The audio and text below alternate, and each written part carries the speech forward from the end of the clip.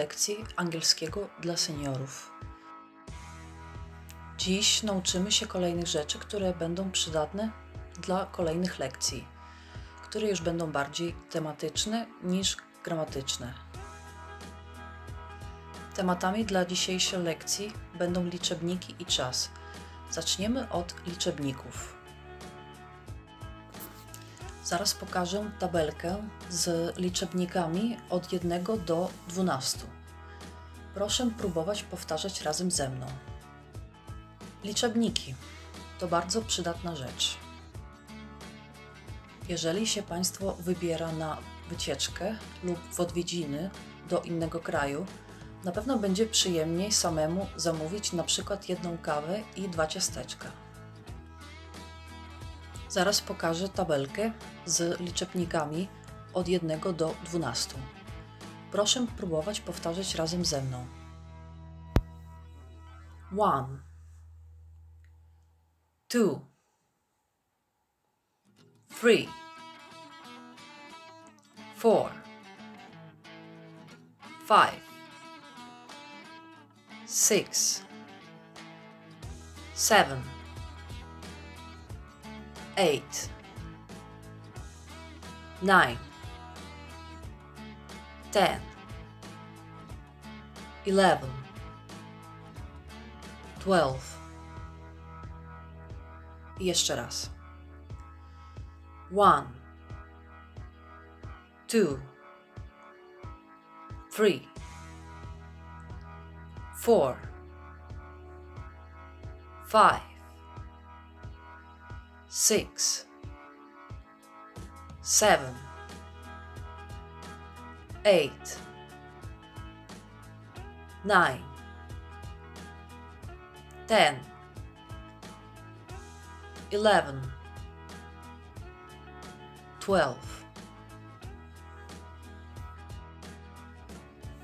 Teraz się nauczymy liczebników od 13 do 19. Thirteen. 14 15 16 17 18 19 jeszcze raz. 13 14 15 16 17 18 19 Zaraz przejdziemy do liczebników od 20 do 30. 20 21 22 23 24 25 26 27 28 29 30 Jeszcze raz. 20 21 22 23 24 25 26 27 28 29 30 Od 31 do 39 jest podobna struktura jak od 21 do 29 i wszystkie kolejne do 99, czyli 31 31 32 32 34 34 na przykład 54, 54, 55, 55, 65, 65, 66, 66, 96, 96, 98, 98. Czyli do dziesiątek dodajemy liczby od 1 do 9. A tak będą po angielsku dziesiątki. 10 to będzie ten. 20 20 30 30 40 40 50 50 60 60 70 70 80 80 90 90 A teraz będą setki. 100 100 200 200 300 300 400 400 300 y, T na początku 3 w słowie three się wymawia coś pomiędzy T i F. Th, three. Tutaj mamy parę przykładów pisowni yy, setek z liczbami od 1 do 9 i dziesiątek. A z tysiącami to wygląda tak. Tysiąc to będzie a thousand. Jeszcze raz. A thousand. Na przykład pięć tysięcy będzie five thousand. Dziesięć tysięcy ten thousand. Czterdzieści tysięcy forty thousand. Sto tysięcy one hundred thousand. Siedemset tysięcy seven hundred thousand. A milion będzie a million. A miliard będzie a billion. Tutaj jeszcze podam kilka przykładów tysięcy, ale wytłumaczę lepiej zasady kolejności słów pisowni liczebników od czterocyfrowych do miliardów przy lekcjach tematycznych i tylko te, które się przydadzą Wam. Oto przykłady tysięcy. 1001 1001 Pisownia takiego liczebnika będzie 1000 oraz dodajemy słowo and, czyli i. I na końcu 1. 2020 2020 2000 plus and plus 20 czyli 20 1956 1956 czyli najpierw idzie 1000 później idzie 900 900 później idzie and a na samym końcu 56. 56. Liczba pojedyncza po angielsku to singular. Na przykład one tea. Jedna herbata. One cake.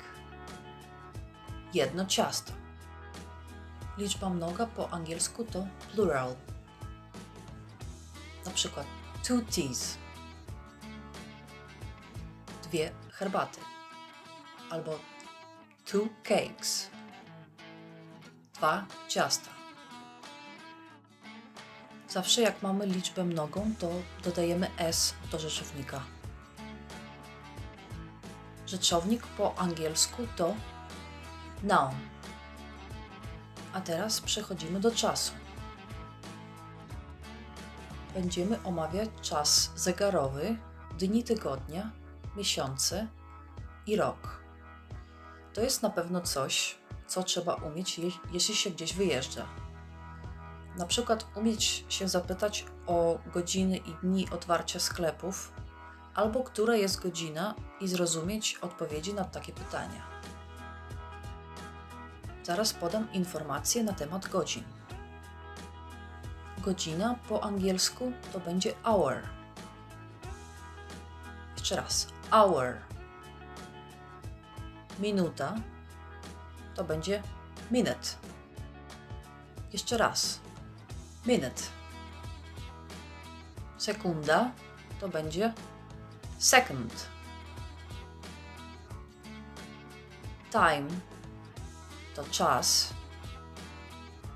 O'clock to zegar albo godzina. Quarter to kwadrans. Quarter past albo quarter to nine to będzie albo kwadrans po, albo kwadrans przed dziewiątą. Half to w pół do. Na przykład half to ten. W pół do dziesiątej. Half past to będzie 30 po. Past to będzie po. To to będzie do albo za. Na przykład 3 to 11. Za 3 11. Mam tu kilka przykładów zdań.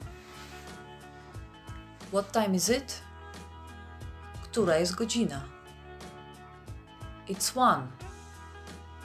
Albo it's one o'clock. Jest pierwsza godzina. I have only 15 minutes. Mam tylko 15 minut. The train is late two hours. Pociąg jest spóźniony o dwie godziny. Słówku the TH wymawiamy jak głuche D, tak jakby D wymawiane przez T i F. A teraz się nauczymy o porach dnia i dni tygodnia. Day to dzień. Day. Night to noc. Midnight to północ. Noon to południe. Afternoon popołudnie. Afternoon. Wieczór to będzie evening. Evening. Morning to ranek. Końcówki ing wymawiamy tutaj bez g. Evening i morning. Przykłady pór dnia z przyimkami. Na przykład W dzień to będzie during the day. W nocy to będzie at night. In the morning to będzie rano. At noon w południe. In the afternoon po południu. In the evening wieczór. At midnight o północy. Kiedy mamy przyimek in the przed słowami zaczynającymi się na samogłoskę, wymawiamy wtedy e jako i. Teraz będziemy mieli do czynienia z dniami tygodnia. Monday, Tuesday, Wednesday, Thursday. Jeszcze raz. Monday, Tuesday, Wednesday, Thursday, Friday, Saturday, Sunday, Friday, Saturday, Sunday. Końcówka day też istnieje jako słowo. Day, czyli dzień. Dni tygodnia w języku angielskim się piszą wielką literą. Skróty też. Jeżeli chcemy powiedzieć, że coś się wydarzyło w danym dniu, na przykład w poniedziałek albo w piątek, używamy przyimka on, czyli on Monday albo on Friday. Jeśli odpowiadamy na pytanie, jaki jest dzisiaj dzień, nie używamy przyimku on w odpowiedzi. Na przykład What day is it? Jaki jest dziś dzień? It's Sunday. Jest niedziela. Teraz nam zostały miesiące, pory roku i rok. Miesiące. January, czyli styczeń. Jeszcze raz. January. Luty to będzie February. February. Marzec. March. March. Kwiecień to będzie April. April. Maj to będzie May. Czerwiec to będzie June. June. July. Lipiec. July. August. Sierpień. August. September. Wrzesień. September. Oktober. Październik. Oktober. November. To będzie listopad. November. December, czyli grudzień. December. Miesiące w języku angielskim też się pisze z dużej litery. Przed nazwami miesięcy używamy przyimka in. Na przykład w maju in May, w styczniu in January Oto przykłady zdań z miesiącami. I was born in January.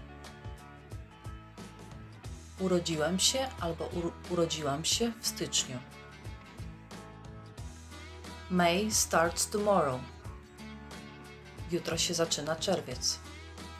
Pory roku po angielsku. Wiosna to będzie spring. Spring. Lato. Summer. Summer. Jesień będzie autumn. Autumn. Zima to winter. Winter. W języku angielskim z porami roku używa się przyimka in. Na przykład zimą in winter. Latem in summer. 1958 1991 2019 2021 Proszę zauważyć, że roczniki nie wymawia się tak samo jak liczebniki. I was born in 1960. Urodziłam się 1960. This pandemic started in March of 2020. Ta pandemia zaczęła się w marcu 2020 roku. Dziękuję za oglądanie i słuchanie mojej lekcji. Następne lekcje będą mieć mniej gramatyki, a więcej przykładów, fraz i słówek konkretnego tematu. Do usłyszenia.